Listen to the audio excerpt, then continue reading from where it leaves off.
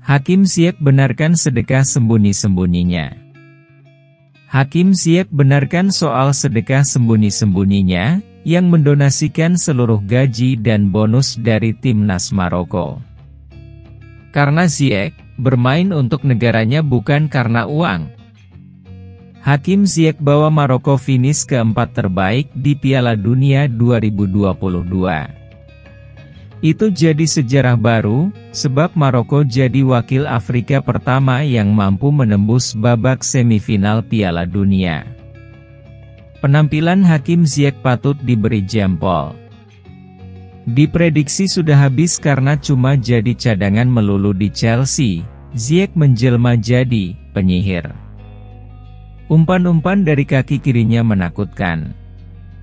Bahkan, Ziyech mampu bermain penuh 90 menit dan buktikan staminanya cukup kuat.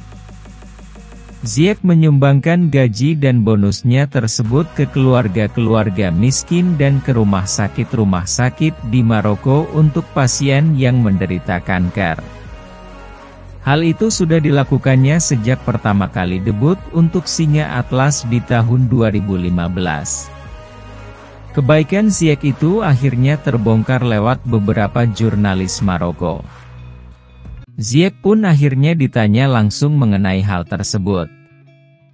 Tentu saja, saya akan mendonasikan semua bonus piala dunia ini kepada orang-orang yang kurang mampu, terang Ziyech.